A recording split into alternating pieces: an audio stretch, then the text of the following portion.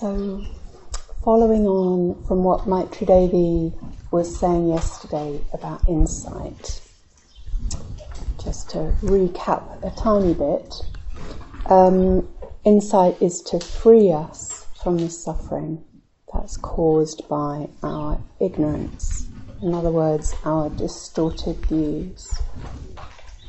Views which fix and resist and grasp and refuse and ignore. I think I got all of those. And she talked about how the territory of insight, vipassana, is deep and broad and varied and non linear and somewhat mysterious, and how it unfolds, how it embeds and integrates. That's very different in different beings. So, another way in which the Vipassana um, practices vary um, is in how conceptual or experiential they are. So you can almost think of it as being like a spectrum. At one end you've got highly conceptual, and the other end you've got highly experiential, and then lots of things in between.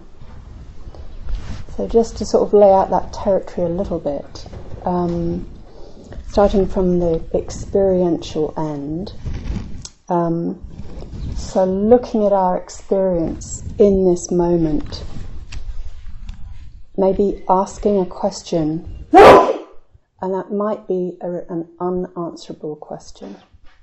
So this is very much the territory of the koan mm. and of the kind of practice that we did with Maitri Devi yesterday. We're looking, asking that question, where is this experience happening? Is there a boundary? And she was saying how it's not important to have an answer. What's important is the, the process.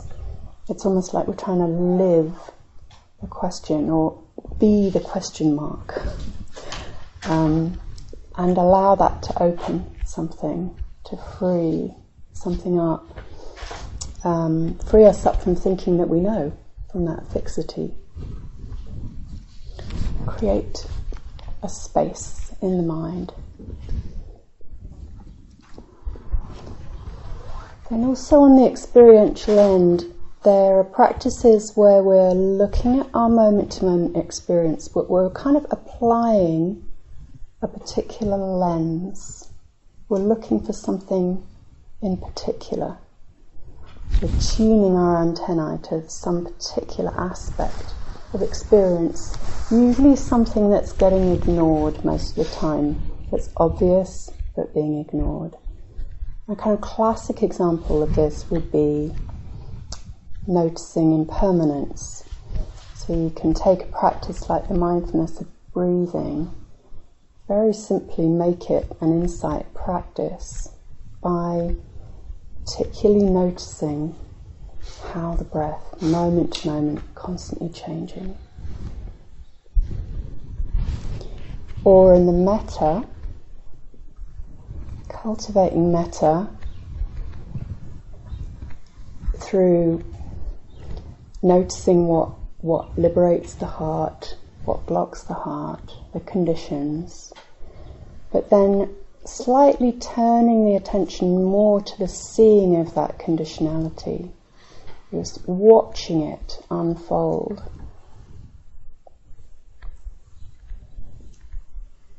And um, oh, and seeing that there's nothing fixed there in this heart mind and that it's all, that it's co-arising with the body. I think that seeing there's nothing fixed. Um, I think I was saying that it can be really good to do that in the midst of just in, in the midst of something that we're really that's really difficult, that we're really quite locked into. Very challenging, of course. The impulse is just to hold on. If we can manage to do that in the midst of the dukkha storm, open in the body. then we can really see there's nothing fixed. Everything can, is changing, can change, and dependence on conditions.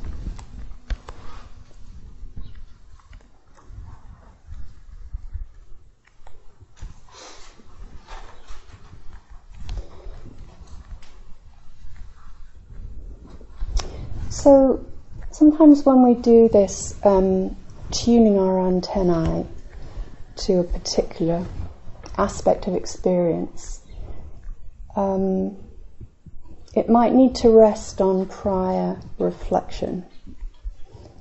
So,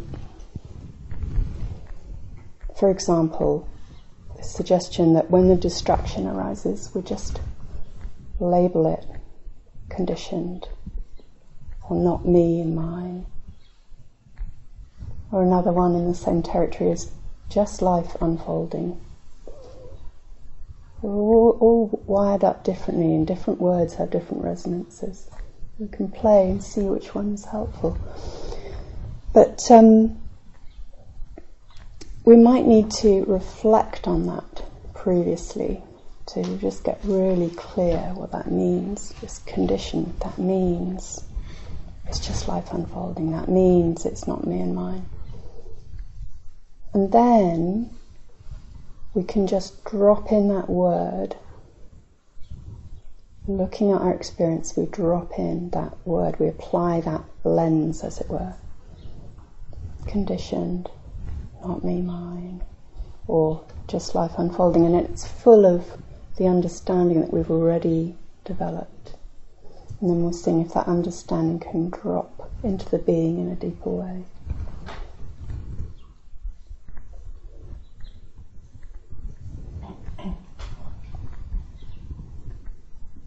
So, reflection,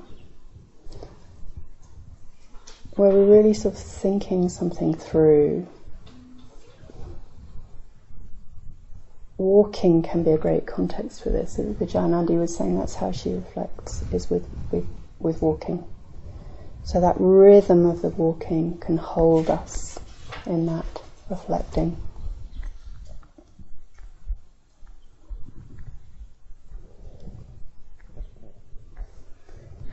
So then,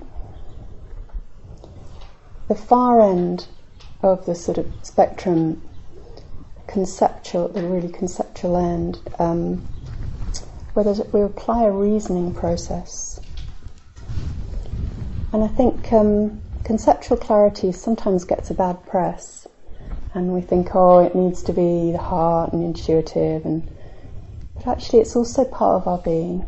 And even in um, a quality like faith, Bhante draws out that actually there's there's an element of of clear understanding in that, of conceptual conviction. Um, just an element, though, it's not the whole caboodle. But it can complement other aspects. So um, I, I've experimented with this and done some of these highly conceptual reasoning insight vipassana practices. And my experience was really interesting because mostly I did not enjoy the process. It felt like I was trying to, a bit like when I struggled with maths in school, I was sort of trying to bend my mind in a way that felt quite unpleasant. So I didn't really enjoy them but there was a certain amount of clarity. And then what I found was that spontaneously, at a later point in meditation, ooh, something emerged out of that. So that's what I found. So sometimes those, yeah, those practices can be about um, getting clear that um, it's not actually logically possible for things to be separate, for example, for things to exist inherently, things to exist independently. It's not, it's not possible, it doesn't make any sense. And then seeing that can kind of reinforce the other kinds of knowing. That bit of us that wants to be clearer, Stronger in some people than in others. Maybe not there at all. Some people might be quite happy to go with the, the intuitive, the heart knowing.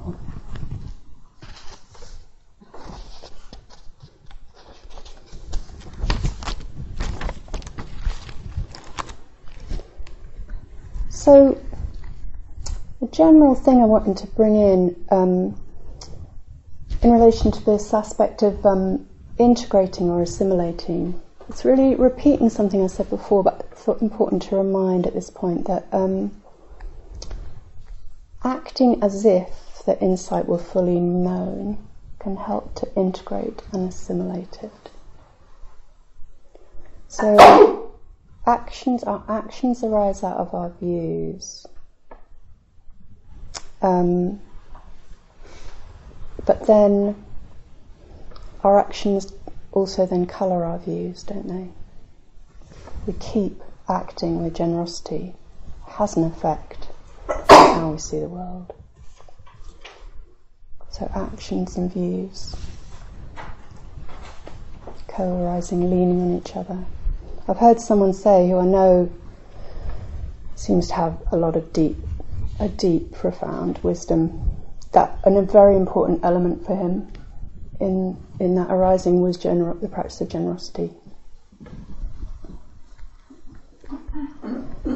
I've been really interested in how um, the practice with the yidam, so sadhana practices, practices of evoking, imagining um, the Buddha, the Bodhisattvas, can be a, it's related. It can be a kind of acting as if both on and off the cushion in the mind and in action. So going to say a bit more about that um, probably tomorrow, tomorrow night.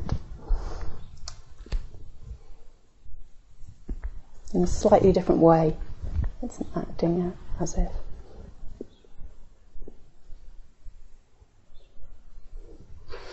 Also, Mike today was talking about how um, insight is often just much more simple unavailable than we tend to think. So, really knowing, for example, ready or not, someday I will die. To really know that is a transformative insight. And yeah, the very simple reflection that's often brought in when um, Metta is being taught initially. Um, everyone wants to be happy and everyone suffers. So, really, really knowing that is insight. To really, really know that. And that could come in d- different ways. We really see, in an element of that might be that we just really see the conditionality of suffering and the conditionality of happiness in our own experience. See what how that works and how delusion and craving and aversion feed each other, co-arise. We really get that and then we know it has to be like that. Or we just see it is like that. And then when it comes to a neutral person in the metta okay, we don't really, we don't know the details of their life and their experience, but we know, we just know that they, they suffer and they really long to be happy. It's just known.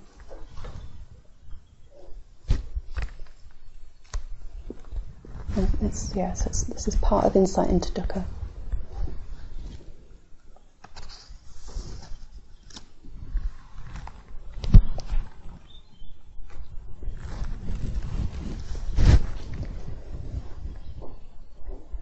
So I wanted to go back to an exercise that we did yesterday. And let's just do it a little bit more of it. So this was um, in the walking, the invitation to pay attention to space. So let's just settle and we'll just take a few minutes to do that. Noticing any effect from that, however subtle, in the heart, mind, and the body.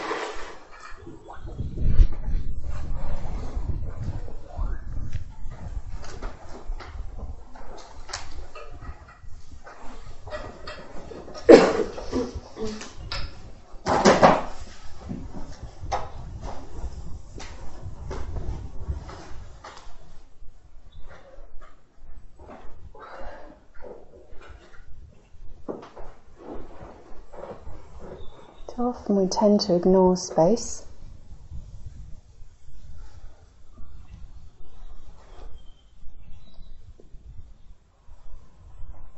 So, with, suggest doing this with eyes open. So, we're looking at the visual field when we feel ready.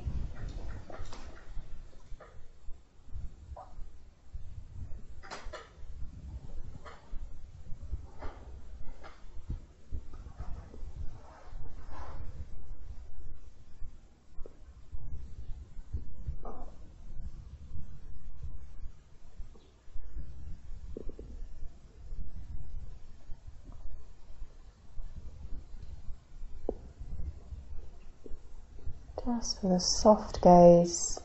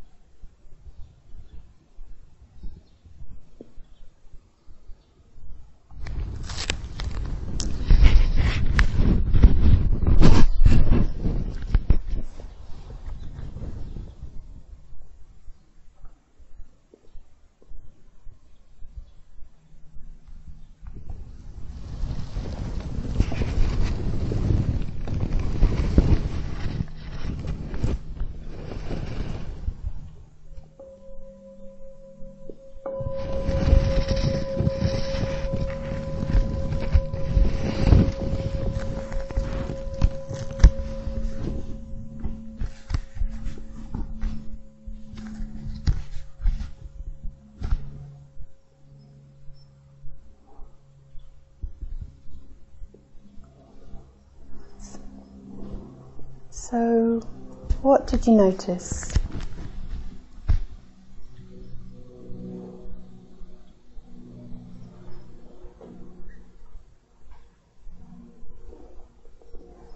Anyone? I noticed that the distinction between in here and out there became very blurred, Yeah. and the boundaries not at all clear. Mm. That sense of the boundaries not clear. Yeah. Sense of between in here and out there. Distinction, softening. Yeah. Thank you. I felt a sort of increase in interest, Mm. curiosity, Mm. that kept me kind of thinking. Yeah. Yeah. In- interest and curiosity. Yeah, and sort of exploring where I could feel, feel space in my body, as well as Mm. corresponding to what I could see Mm-mm. in terms of distance. Yeah. Yeah.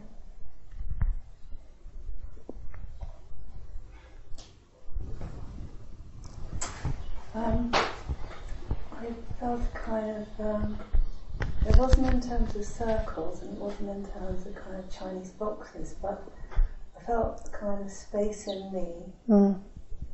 and then a space in relation to space Mm. between everyone here. Mm. And then outside, a kind of almost like another world, a series of worlds. Mm. Um, space that is very open around us. Mm. And then I thought about the city and how important it was to develop and keep that Mm. sense of, uh, yeah, that space inside. So that sense of space, what did that feel like? Well, visually inside me, I have this kind of pool of water, so which um, I have when I feel that space. Mm. Um, Was it pleasant? Was it pleasurable? as so well? it was all pleasurable. It was almost like multiple possibilities. Mm. It was like, yeah, seeing things through different lenses. Mm. Really. Sense of multiple possibilities. Yeah, I mean, it's not the same as other times I kind of envisaged the same space in individuals. Mhm. This is is more of a kind of paying attention to space between. And I, the, my own space came in afterwards in a way. It's just um, being aware how much space we have here, I guess, as well. Mm. Yeah. Thank you. So, doing this yesterday, I also found that it was um, pleasurable and um, a sen- this sense of space. And then, so then, why? What's going on there? In contrast to what we're normally doing. I'm focused more on objects. So when we're looking at the space, there's less focus on objects, isn't there? Looking at the space in between objects. So the more that we kind of make objects defined, fixed, and separate, the more we are making at the same time a subject. So if you think about a sort of extreme version of that, something is not really not wanted, we're very, very aversive to it. Could be any object, could be a mind state, could be a being, could be a physical object. We don't like it, we don't want it. And then the sense of that thing as a thing becomes very sort of strong. It's sort of there at the center of our awareness. We're ignoring other things. And the sense of the me becomes very strong as well, the subject. The me that's not wanting, that's one, and that's wanting a different experience. So the aversion and the craving, it's always the flip side those two craving and aversion, reverse sides of each other. So you can see how the sense of the me and the other, the subject and the object, is like a co arising. Those two things arise together. They, they kind of fabricate each other. The more we've got a sense of a thing, an object that we don't want or want, the stronger the me.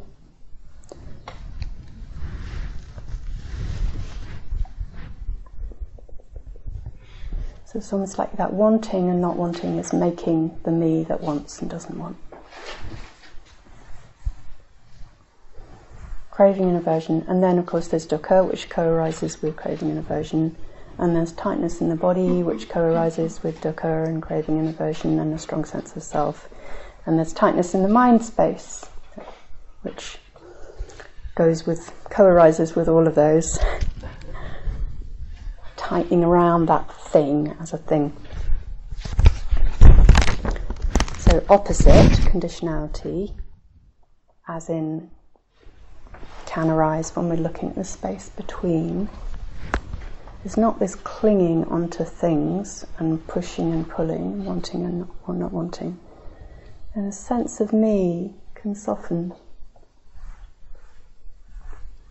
As Aggie mentioned, that sense of this me, separation, body, it'll be a letting go in the body, a letting go in the mind space, moving more towards the, the open mind, the sky-like mind.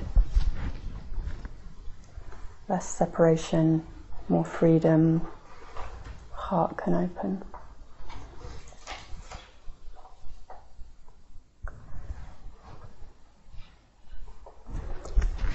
So maybe, and then all of that can come from the heart opening as well. Heart opens, body opens, mind space opens, sense of me is less, sense of other is less, sense of separation is less. You can see all of that in metta.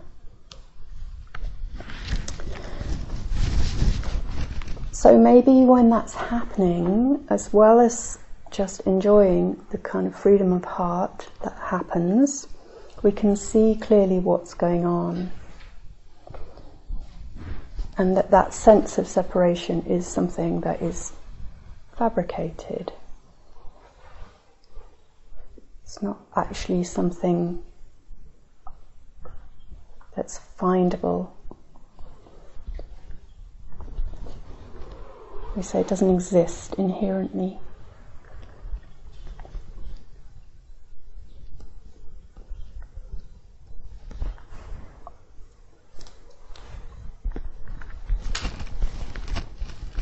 So there's something to look at when the heart is opening,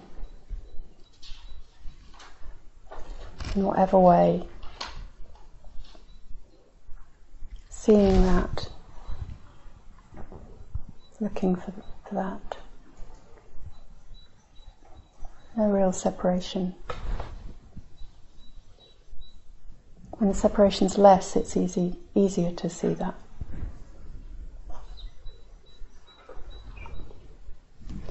So, question how do we know that insight is, is going on? That, that actually there's some shift whereby a new way of seeing is actually being really known, that there's a real, a real knowing and seeing outside of our normal grooves. In the moment, we can feel that in the body and in the heart mind.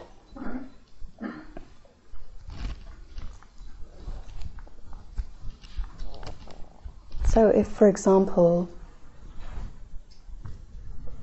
just using one of the examples I was talking about earlier, so you know, something arises and we and we just note it's just life unfolding. It's not something I need to think of as me and mine. Maybe we just say life life unfolding here. That can have a resonance in the body, that can have an effect. A letting go in the body, a letting go and opening in the mind. It might be very subtle, we might miss it. But when that happens, we can really know that something has gone in in that moment. Because the body wouldn't be responding and letting go otherwise. The body doesn't just sort of like, you know. It's because something has actually been realized. There's some sense of, oh, I don't need to hold on so tightly. Because something's been known and seen.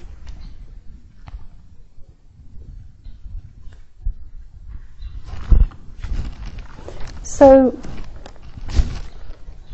we've got another another kind of virtuous cycle or co-arising going on here. So talked about how with metta give, can give rise to samadhi, and then the samadhi and samadhi gives, can give rise to metta. So same thing with insight. Something seen and known there's a freeing up in the heart mind, in the body, there's a letting go. That can feed into samadhi. So we, Maitreya was talking about, you know, the classic thing is that samadhi gives rise to, allows or integrates insight. And it's also the other way around as well. That these moments of freeing up can allow us, can take us into absorption. And maybe when something, there's a moment of clarity of whatever kind just really give that space. Notice the effect of that. And body. Just rest in that.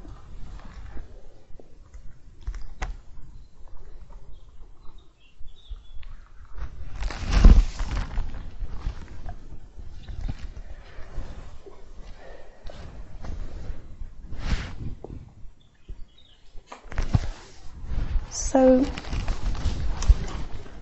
yeah, um, the last bit I wanted to talk about, I just wanted to share a couple of um, metta insight lenses, which are based on reflection.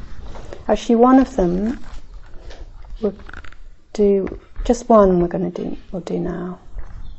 Um, so the other one I'll bring in later. The other one's around bringing that lens of conditionality to seeing others.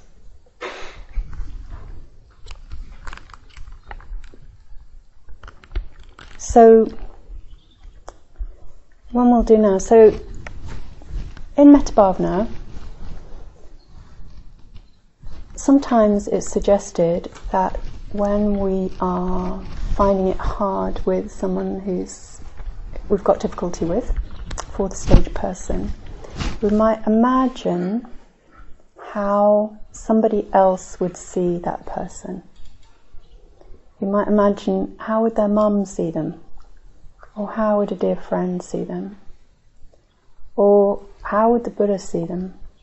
Or Padmasambhava? And that can help loosen something, can't it? It loosen this kind of um, fixity in our own view based on our own particular experience.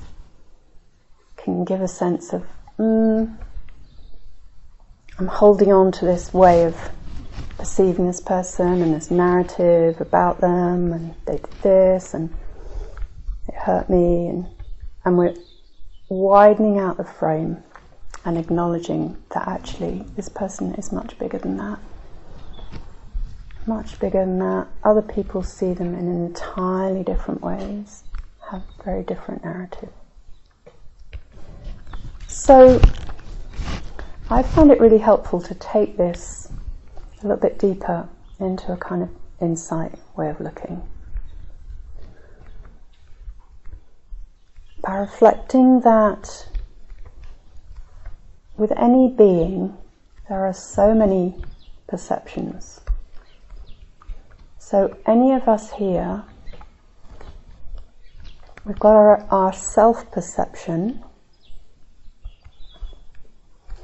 and then we're perceived differently by every other being. So, each of us here will be perceived differently by each of us here. Independence on conditions.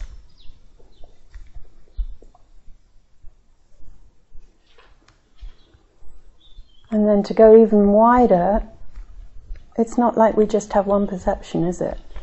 Perception changes, heart mind changes, we see that person differently in each moment, actually.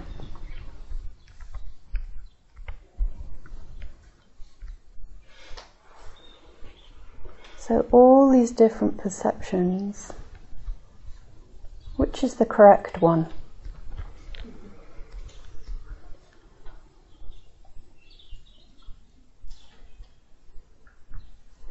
People are smiling, at it's because we know that's ridiculous, don't we? Actually. There isn't a correct one. So, what does that mean for what that person is, for who we are? Where are we to be found amidst all of that?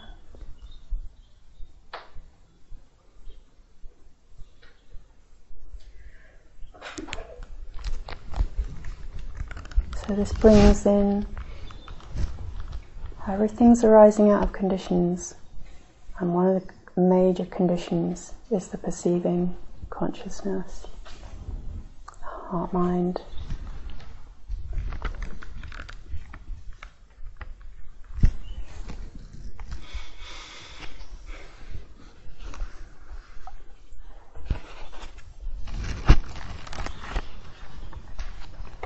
So I'm going to leave you with that one, and you might like to take that into the walking.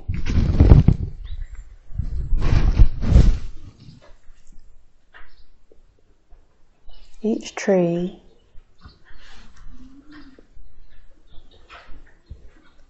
perceived differently by each being in each moment. Where's the tree then?